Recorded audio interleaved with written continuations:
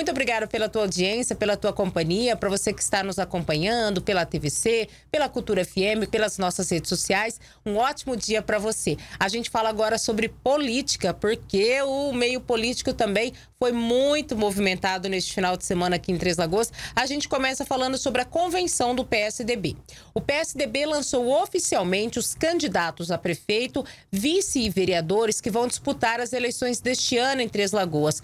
A legenda oficializou a candidatura do médico e presidente da Câmara Municipal de Três Lagoas, Cassiano Maia, como candidato a prefeito e a candidatura da ex-secretária de Assistência Social, Vera Helena, como vice na chapa encabeçada por Cassiano Maia.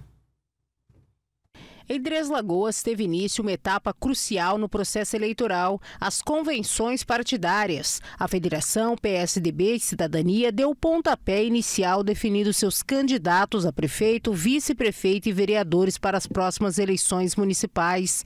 Com grande expectativa e um clima de entusiasmo, os membros do PSDB e Cidadania e demais partidos aliados se reuniram para oficializar as candidaturas. O evento contou com a presença presença de lideranças estaduais, locais, filiados e simpatizantes.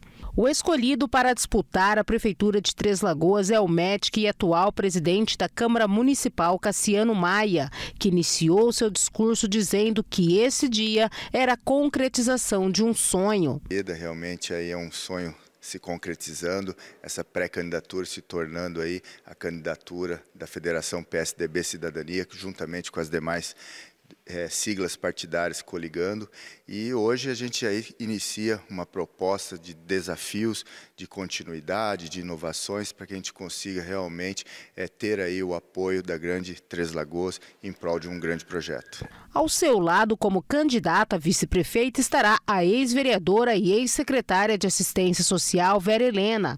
Ela foi uma indicação do PP para compor a chapa majoritária. Uma, uma parceira, Vera Helena, sempre esteve junto a mim, desde o início ali da gestão do primeiro mandato do prefeito Ângelo Guerreiro e ela conseguiu ser também é, uma parceira nos meus, nas minhas corridas eleitorais, para vereador, para deputado federal e juntamente com o prefeito Ângelo Guerreiro conseguimos fazer um grande trabalho na gestão do prefeito e acho muito bacana a gente estar aí junto de mãos dadas pensando aí numa Três Lagoas cada vez melhor. Centenas de pessoas compareceram na convenção do PSDB que aconteceu na noite desta sexta-feira no Sindicato Rural. Além dos filiados do PSDB, várias outras pessoas integrantes de outros partidos que vão apoiar a candidatura de Cassiano Maia também estiveram presentes. Além da chapa majoritária, foram apresentados também os nomes dos pré-candidatos a vereadores da coligação, totalizando 112 candidatos.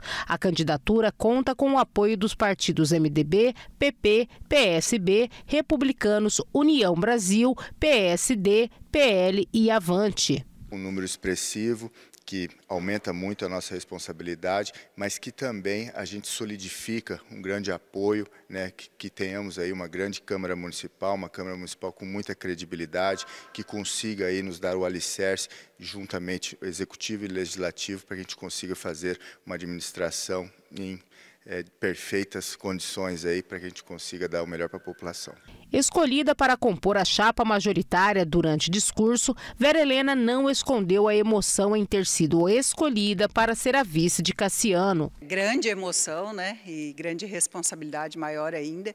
Mas assim, fui, estive, está cotada, está entre os nomes, né? Para ser escolhido como vice, é, pré-vice do, do Cassiano Maia, né? É, foi uma honra muito grande, foi uma surpresa, sim, mas foi uma honra maior ainda, né?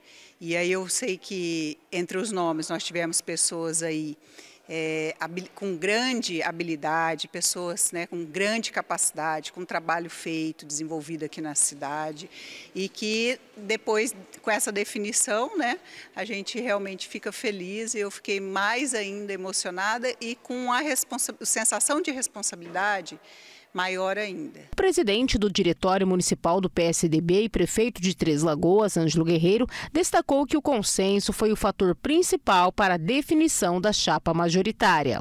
A importância maior é o consenso, né, principalmente dos partidos aliados, né, e os nossos pré-candidatos, sendo eles as a vereador e vereadoras também.